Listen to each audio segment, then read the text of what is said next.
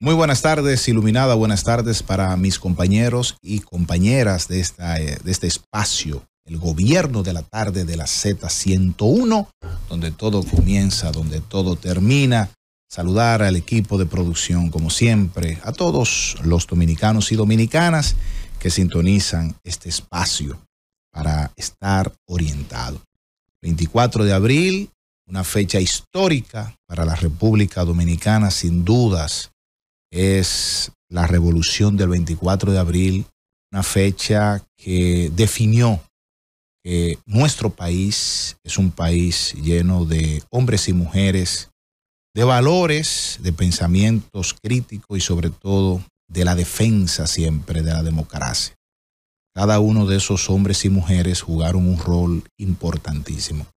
De hecho, la parte artística de nuestro país jugó un papel determinante a través del arte para que la revolución fuera una gesta que llegara a ciertos lugares que necesariamente en ese momento tenía que llegar. Qué bueno, qué bueno es sentirnos nosotros orgullosos de esa participación porque en ese momento se buscaba el retorno del profesor Juan Bosch ante el golpe de Estado que se produjo en el año 1963. Eh, Así que recordar esta fecha es importantísima y ojalá que las nuevas generaciones puedan seguir documentándose y valorando eh, este hecho histórico.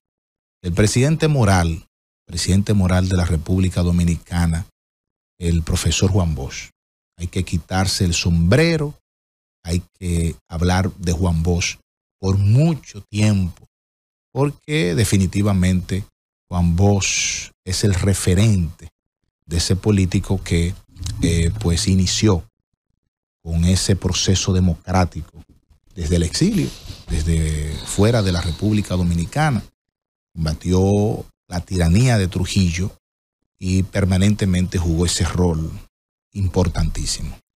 Miren, eh, la participación de los políticos en el debate enriquece la democracia y fortalece el nivel electoral, sin duda. Ayer vimos el debate vicepresidencial, qué bueno.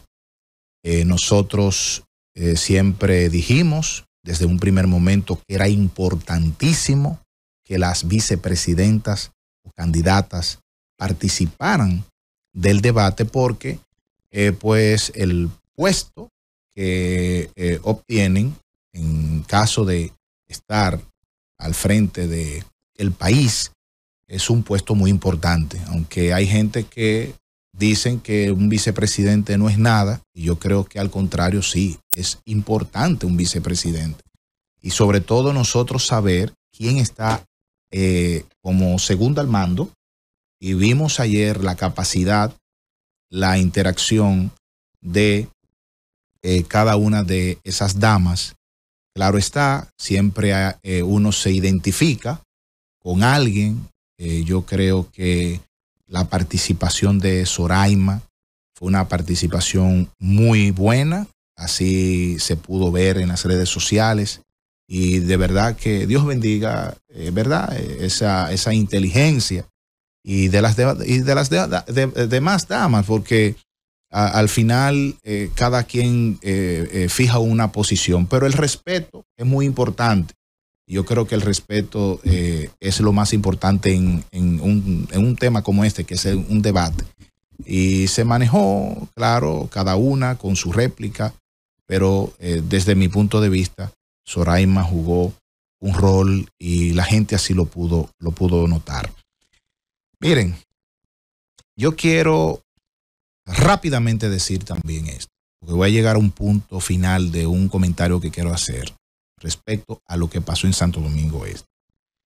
Le quiero decir a la alcaldesa, la distinguida alcaldesa Carolina Mejía, que para mí, sin dudas, es una mujer muy respetuosa, hay buena referencia de ella y creo que eh, tiene todo su derecho. Pero decirle a Carolina que la informalidad no puede llegar tan lejos. Un día como hoy, donde hay un protocolo, un acto solemne, creo que no era necesario. Y miren, yo no tengo nada contra ningún artista. Para mí cada artista juega su papel. Eh, cada quien tiene su estilo. Yo respeto, yo nunca he descalificado a nadie, ni hablo despectivamente de la clase artística, porque eso es un mundo muy, muy diferente. Pero la informalidad no puede llegar tan lejos, porque eso manda un mensaje. Y más hoy, un día tan especial donde se toma posesión el Palacio Municipal de la Primada de América. Yo no creo que nosotros lleguemos a cometer esas, eh, esas cosas de esa naturaleza. No, no vale la pena. No vale la pena. Y yo no me hablen del mar, no me hablen de la, de la, de, que eso es un tema comunicacional, que es una estrategia. No, no, no, no me hablen de eso. Eso, eso fue innecesario. Miren, por otro lado y finalmente, y finalmente, me quiero referir a la situación de la toma de posesión de Dio Astacio en un acto que desde mi punto de vista, lo que se vivió allí fue innecesario. Y yo había dicho aquí en este espacio, en el gobierno de la tarde, que el café que se bebieron en estos días Manuel Jiménez y Dio Astacio parece ser que no tenía azúcar. Y lo dije aquí. Y dije aquí las razones, el por qué no tenía azúcar. Y no tenía azúcar, no fue porque yo lo dije porque, porque es el azúcar en sí. Es porque lo que se produjo en esa reunión no era nada dulce. Todo fue amargo porque se dio bajo una presión. Porque ya había un histórico de una situación de denuncia de que estaban eh, boicoteando eh, pues el, traspaso de mando de la gestión y se dieron un sinnúmero de cosas. Se dieron un sinnúmero de cosas. Y yo incluso revelé el por qué se produjo eso. Y dije que todo indicaba y al parecer que la situación personal llevaba a una decisión en el futuro a, a Dio Astacio y su equipo hasta decir en pasillo de que iba a barrer hoy, a partir de hoy. Y esas eran las causas. Se estaba buscando una justificación. Pero bien, ahora, lo que se vivió hoy, señores, en medio de un acto solemne de la sala capitular, desde mi punto de vista fue un acto de mal gusto, bochornoso y necesario. Eso no se debió eh, permitir que llegara hasta ahí. ¿Y por qué? Porque ahora entro en la explicación por qué se produjo eso. Y fíjense que estoy diciendo que no debió pasar. Ahora bien, pasó. Y aquí voy a darle la razón a Manuel Jiménez. Voy a darle la razón a Manuel Jiménez. ¿Por qué pasó? Porque yo fui el que publiqué la agenda. Nadie había publicado la agenda y la publiqué en primicia. Oh, ¿cuál fue la agenda? La agenda de hoy, de la toma de posesión del alcalde Dio Astacio y de los regidores. Primer punto. Presentación de informes y palabras de las autoridades salientes que le tocaba a él porque fue consensuada. O sea, una agenda que fue consensuada. Segundo punto, juramentación y toma de posesión de las autoridades electas, alcalde, vicealcaldesa, regidores y el cargo de la Junta Electoral y todas las autoridades. Y tercero, las palabras de Dio Astacio. Regálame un minuto, por favor, eh, eh, hermana iluminada. ¿Por qué? Porque a Manuel Jiménez lo sentaron en la parte de atrás. El protocolo. Le dijo, siéntese ahí que cuando le toque, atrás. Oigan esto, atrás. Oigan el nivel de locura y de radicalización política.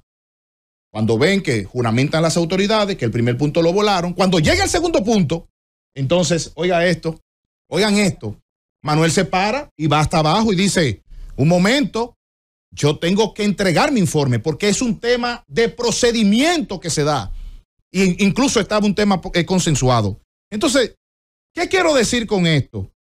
Finalmente, que fue innecesario, fue innecesario que esto pasara y el equipo de Dio Astacio, sin necesidad, y respetó un acto solemne. Porque lo de afuera, cuando a Manuel Jiménez lo, le vociferaban eh, en términos despectivos un sinnúmero de cosas, también fue montado. Porque a mí nadie me dice que eso es fortuito. ¿eh? Entonces, yo creo que la política no puede ser así.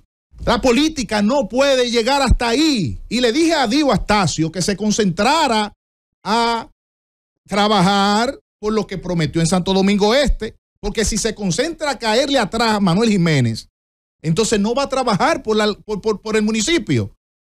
Y yo, más, yo voy más lejos. Manuel Jiménez, prepárate, prepárate, y con esto cierro, prepárate, que todo indica, y, y escuchen, esto se graba, no estoy vaticinando nada, pero mi olfato me dice que a Manuel Jiménez le espera una persecución.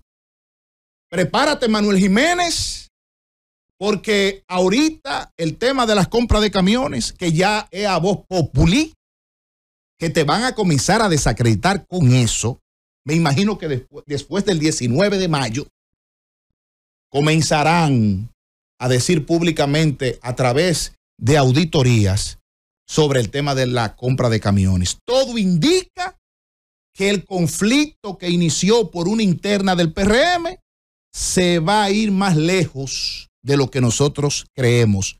Lo que llegó, llegó ya a un punto en términos personal. Llévame.